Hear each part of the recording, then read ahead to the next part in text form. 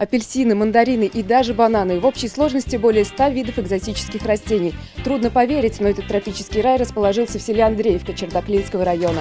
К моменту приезда нашей съемочной группы весь небольшой, но ценный урожай был съеден родственниками и друзьями Александра Приданова, учителя и селекционеров по совместительству. Доказательством существования дивных фруктов послужили деревья с сочными листьями, которые точно не напоминают местную флору Поволжья. Александр признается, интересное хобби занимает большую часть его свободного времени. Но я занимаюсь уже два года, третий год.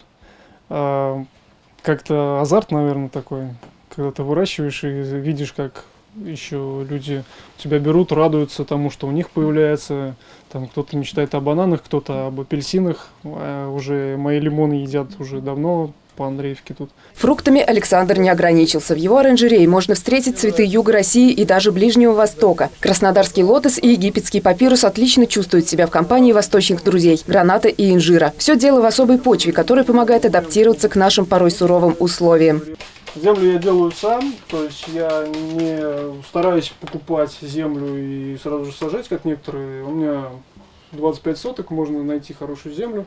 Я обычно делаю песок, глина и чернозем. На самом деле мечты об экзотическом саде появились у Александра еще в ранней юности. Первый опыт оказался более чем удачным. Лимонное дерево до сих пор приносит плоды. Даже в этот раз на нем зреют несколько лимонов. Мне было еще 16 лет, когда у меня появился первый лимон, и он дал в первый же год три плода. Следом был мандарин, тоже три плода, и так пошло.